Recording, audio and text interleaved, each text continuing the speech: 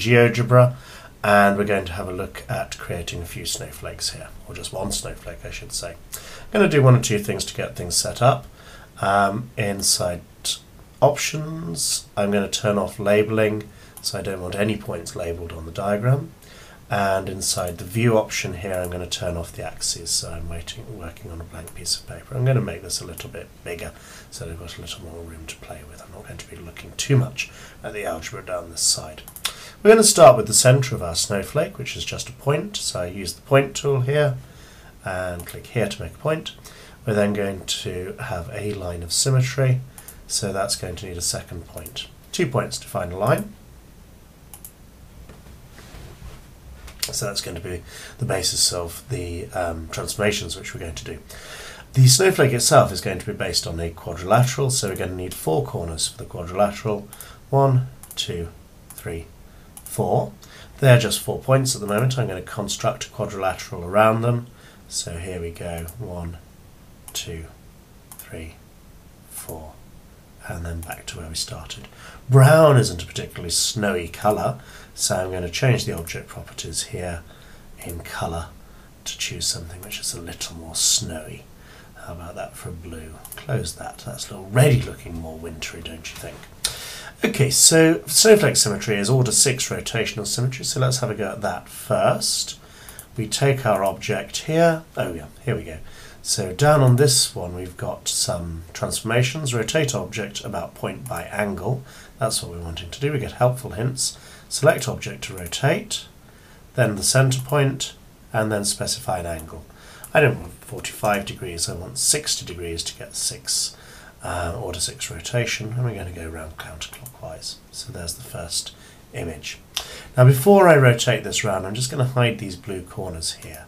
So I'm going to turn off show object there and there and there and there. That's just a stylistic thing. Okay, point to the object, point to the centre, specify the angle. Unfortunately remember, point to the object, point to the centre, Let's do that again. Point to the object, point to the centre, 60 degrees. Point to the object, point to the centre, point to the object, point to the centre. And now we've got our order 6 rotation symmetry. We've not quite got a snowflake yet, because we also want reflection symmetry here, mirror symmetry. So using my, um, I know, we're going to do, instead of rotating an object about an angle, we're going to reflect an object in a line. Select object to reflect, which is going to be all that we've drawn so far, and then select a line in which to reflect.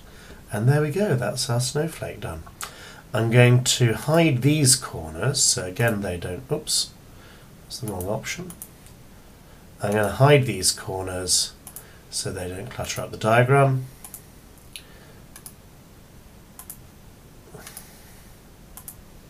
And I'm going to hide this line here.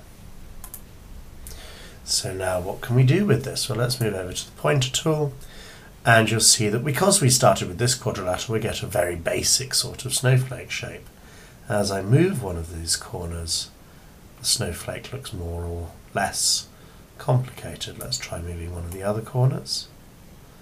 Again, this stays order 6 rotation symmetry and six lines of symmetry.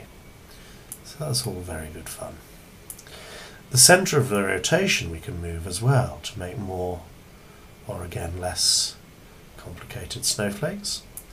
This doesn't actually do very much, it just changes where the mirror line, where the, where the line of reflection falls. Oh, that's looking very nice. Moving these into more and more outlandish positions. We lose some of the original quadrilateral idea here, but we definitely get something which looks suitably wintry. And then we could hide those other corners and print that off, and we've got the basis for a lovely Christmas card, I'd have thought. Okay.